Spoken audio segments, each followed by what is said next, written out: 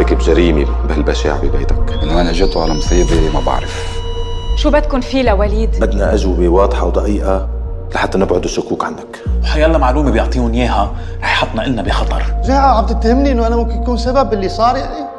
لسه صار لها سنين بس الوجع كأنه امبارح. وليد. كل عمره لبسانة بتاكل له عشاء شيل السلاح من إيدك وما تعقد القصص أكثر من هيك. والله العظيم أنا ما دخلني باللي صار. اوعى حدا يعرف بهذا الموضوع. أنا هون مشان مدلك إيدي وأسندك لأنه عدونا واحد. خلينا نفكر صح.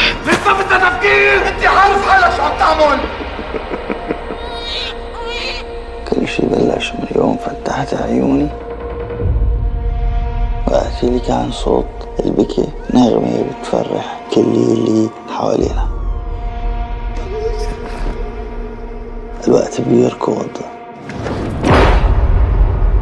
ما منلاقي إلا الدنيا فوتتنا بطرقات وزواريد ضيقة. كتير ضيقة.